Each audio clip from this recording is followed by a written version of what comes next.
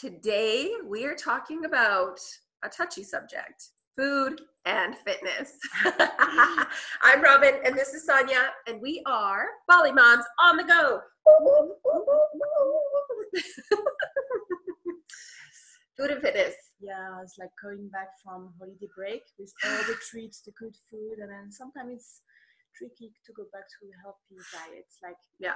I'm still craving for like some chocolate and like feeling like this. So And, and a lot of it's still around the house, right? We were just talking about that. Yeah, Sonia was showing me her chocolate box. It's still, it's Still still here, you guys. still there. yeah.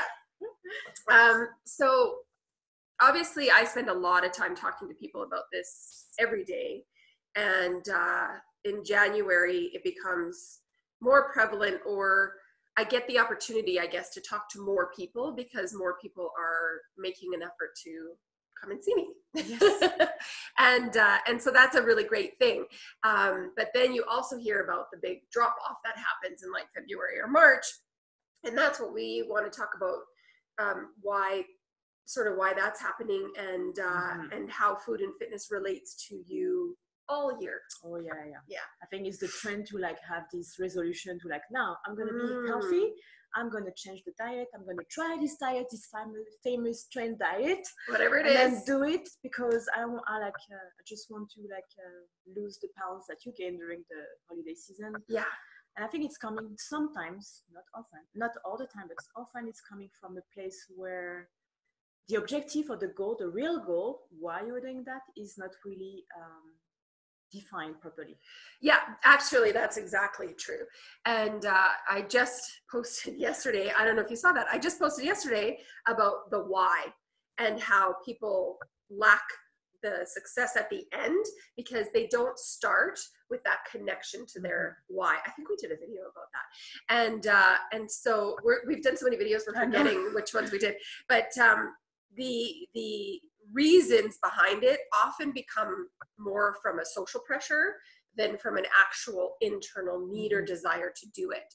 Um, and after the holiday break, you don't feel very good because you've been you have been eating poorly and maybe a, li- a little bit lazy, but with intention of rest, which is Yeah. always a good thing too.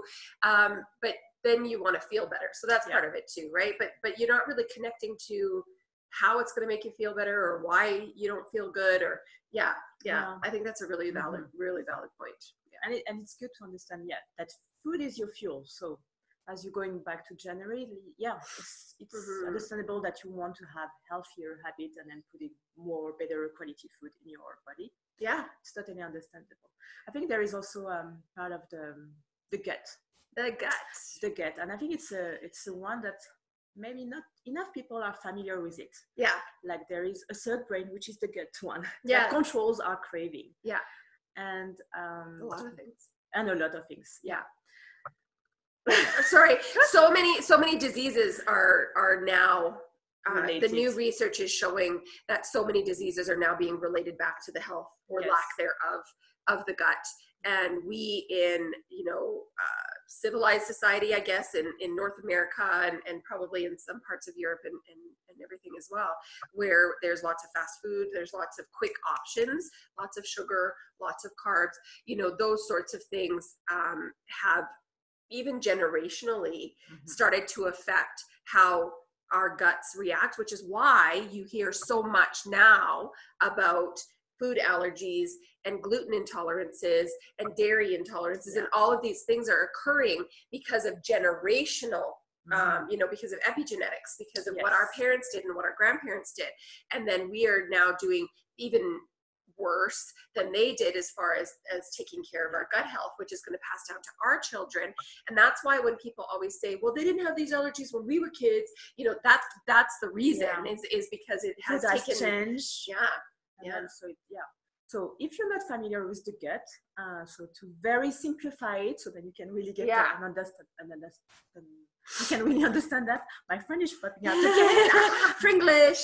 Let's go Fringlish. Be ready. so all the gut is like you have um, a microbiome, which is a, a mix of microorganisms Mhm. in your gut. So in your intestine and your big intestine, intestine, intestine, Intestine. intestine. Yeah. Whatever so you have good ones and bad ones that needs to balance and when there is an imbalance that's where uh, as robin said there is a lot of issues health issues Yeah. yeah. and knowing better you get and what's good or not good and to really get the balance that's where you have room to be healthier Yeah, there's a book called Gut. Actually, it's called G-. GUT. Mhm. It's a it's an amazing book to explain to sort of general population to the average person about what those what those uh, organisms are are doing and causing in in the gut. And but the good news is is that it is manageable. Oh yeah. And so you can heal your gut you know? So we started talking about food and fitness and we want to relate that back to no uh, trend diet because neither of us believe in that sort of thing. And so um, a lot of you might have thought that we were going to tell you the secret to fast results and all of that thing but we don't work that way. And we want you to think about how could you create a space where health could happen? And that space is right here in your tummy. And so if you could take the time and this is what it, i did. I did uh, i did an entire elimination diet in order to reset Mhm. you know rebuild yeah the rebuild. the organisms that the, the correct organisms i also started taking probiotics a Mhm. few years ago and that was very um, life changing for me Mhm. and it made it so that I can now have some of those foods that that maybe were really causing me problems before. Um, it's really an interesting approach. Instead of saying I'm going to do this diet and lose this much weight and get fit by this date, Yeah. we say I'm going to rebuild the health of my gut, Yeah. and then that is going to bring me um, to a place where food and I have a better Oh, relationship yeah. because you really start to look at food in a different angle Mhm. You know Oh yeah. So Yeah. if it's a topic that you really would like to learn more, so Yeah. we can invite some nutritionists to really talk about it, so Yeah. they can really share their tips Yeah. and really get a better view of how it works. totally yeah. and if you know something about it then we want you to comment below and tell us a little bit about that as well yeah Because it's a very wide topic. So it's a very wide topic yeah and i think that our message is is just to take your time instead of worrying about rushing it because you're unique. yeah So you're on your unique journey of being healthy.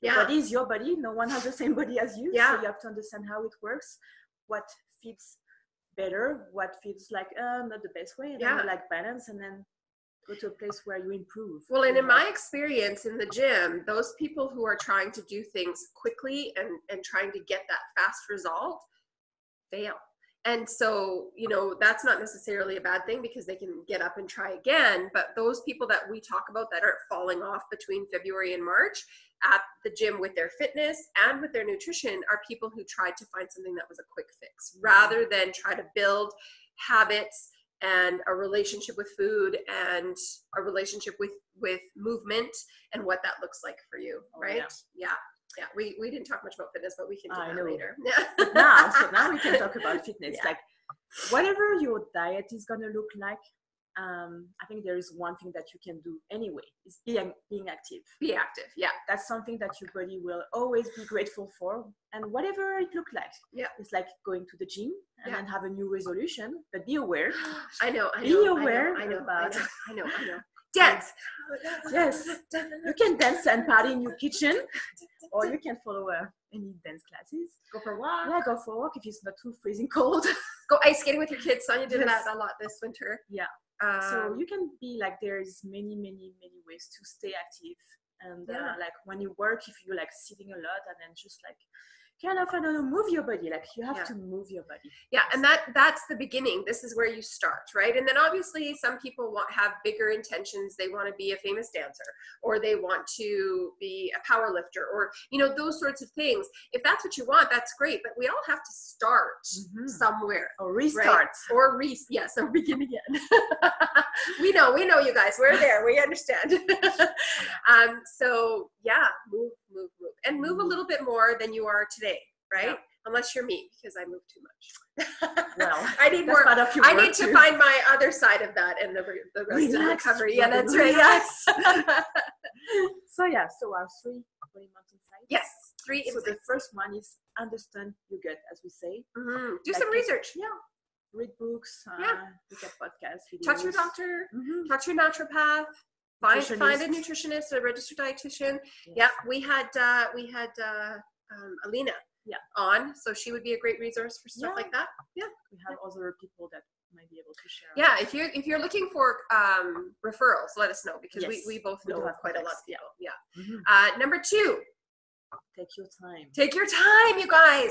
Slow down. Yes. This all doesn't have to happen in now. January. Yeah. you know and when you hit the gym if that is what you're going to do don't go six days a week to start that's too much it's too much go be reasonable with your time So release the pressure. Mhm. that you can achieve your goal at some point. yeah release Like that release step- that yeah, yeah, that's a really good way to say step. release that pressure because that pressure is all Yeah. here yeah No one is pressuring you. no It's just about your own needs. Yeah. Like, what do you really need exactly and when? exactly Yeah. yeah And realistically, when?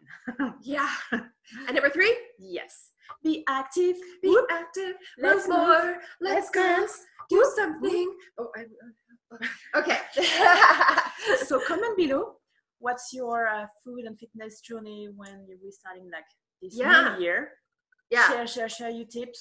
share your tips Ask your yeah. questions. As long as they fall in line with the things that we're talking about, you guys. So don't sell your diet. It doesn't work. That doesn't work. We don't support that. All right, you guys, good job. Thank you. Keep going. Bye. Bye.